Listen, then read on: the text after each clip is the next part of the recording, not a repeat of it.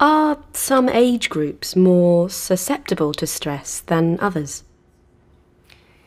Stress is a very democratic occurrence. So, older people are stressed, college students are stressed, babies get stressed, 30 somethings get stressed, men are stressed, women are stressed. So, uh, it's hard to say if one group is more stressed than another. What makes students stressed? How does stress affect their lives or their studies? And what are the most stressful times in a typical student's life? college and being a student can be really fun and exciting and rewarding. There are also a lot of stressors associated with it. There's the studying, there's the pressure to do well on exams so that you can get a better job and perhaps make more money. You are in a different environment that doesn't have the same support that you used to have, especially if you were back home. Uh, there is the social stress of needing to meet new people.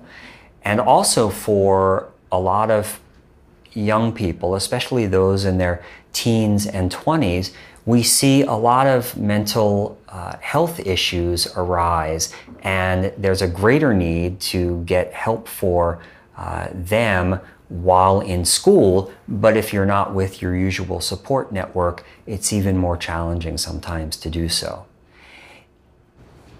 Stress makes it difficult to study, to focus, to concentrate. When you're sitting down to take an exam and you studied really hard for the exam, and then all of a sudden you're having trouble remembering what you studied, stress can play a big role in making it more difficult for us to recall information. If you're doing a presentation, public speaking, that can be very stressful for a lot of students as well as professionals. In fact, still, public speaking is feared more than death by most people. Then there's the financial stress of being in school. Not only uh, not having a lot of money to spend on things that you want to do, fun activities, but what awaits you when you graduate, which for many uh, students is a lot of financial uh, stress and loans to repay. So, being a student, great fun, and also can provide a lot of great stress. You set up Stress Busters as an anti stress program for students. Can you tell us something about it and how it works? We train teams of students to provide five minute free back rubs at events all over campus all year long.